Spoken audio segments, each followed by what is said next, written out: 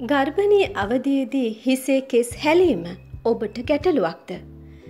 ගැබිනි ඔබේත් කොන්්ඩේ යනවා නම් මෙන්න එකට හේතු. ඔබත් ගැබිනියක් නම් අනිවාර්යෙන්ම මේ වීඩියෝ එක අවසන් වෙනකම්ම බලන්න අමතක කරන්න එපා. අපි අද මේ වීඩියෝ එකෙන් ඔයාලට කියන්න යන්නේ ගර්භණී කාලෙදී ගොඩක් අම්මලාට ප්‍රශ්නයක් වෙලා තියෙන කොන්්ඩ යන එකට හේතු වගේම ඒකට කරන්න පුළුවන් මොනවාද කියන එක ගැනයි. මෙතනදී අපි ඔබට ඒ හා සම්බන්ධ කිසිම කෙනෙක් කවදාවත් නොකියන සුවිශේෂී කරුණු ගණනාවක් ගැනත් කියන්න බලාපොරොත්තු වෙනවා. ගැබිනි අම්මා කෙනෙක් වන ඔබට ගැබ්ගෙන ඉන්න කාලෙ වගේම දරුවෙක් ඉපදුනාට පස්සෙත් කොන්්ඩ යනවා. එක එක හෝමෝන වර්ග තමයි එකට හේතු වෙන්නේ. මේ කාලයේදී අම්මා කෙනෙක් වෙන ඔබේ කොන්්ඩයේ පාට ගනත්වය වගේ දේවල් වෙනස් වෙන්න පුළුවන්. ඕනම කෙනෙක්ගේ කොන්්ඩය වැඩෙන කාලයක් වගේම වැඩෙන්නේ නැති කාලයකුත් තියෙනවා.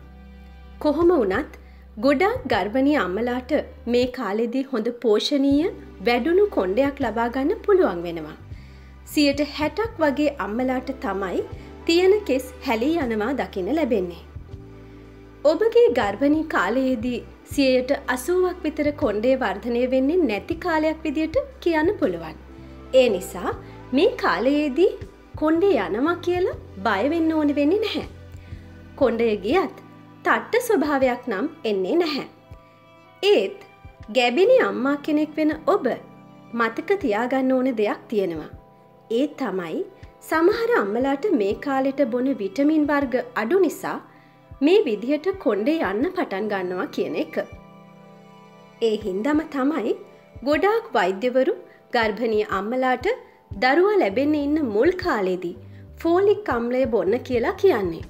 මේ කොන්්ඩ යනයක අවුරුද්දක් විතර යනකොට තිබ්බ විදිහටම හරියනවා. මේ වීඩියෝ එක බලන ඔබත් අම්ම කෙනෙක් නම් දන්නව ඇති දරුවා ලැබෙන්න ඉන්න කාලේ වගේම දරුවෝ ලැබුණට පස්සේ කොන්්ඩේ යනවා කියන එක.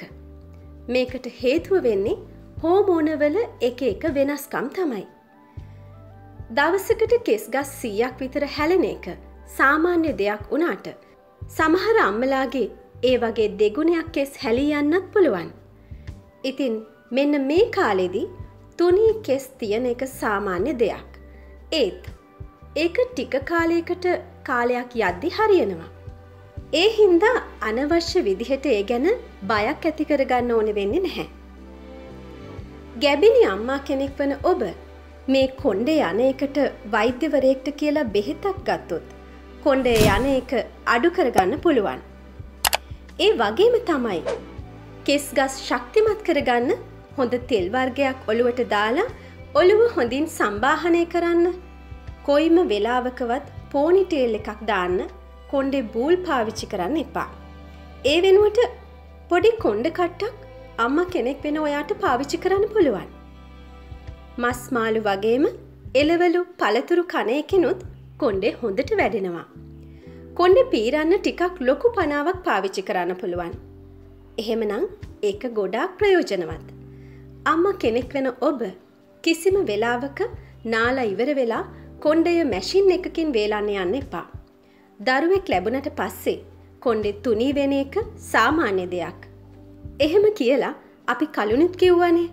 ඒ හින්දා ඒ ගැන ඕනෑවට වඩා හිතන්න ඕනෙ නෑ. අපි මේ කියපු පුංචි පුංචි දේවල් අම්ම කෙනෙක් වෙන ඔයාට කරන්න පුළුවන්න ඔයාගේ කොන්්ඩය ගොඩාක් හොඳට තියාගන්න පුළුවන් වෙනවා.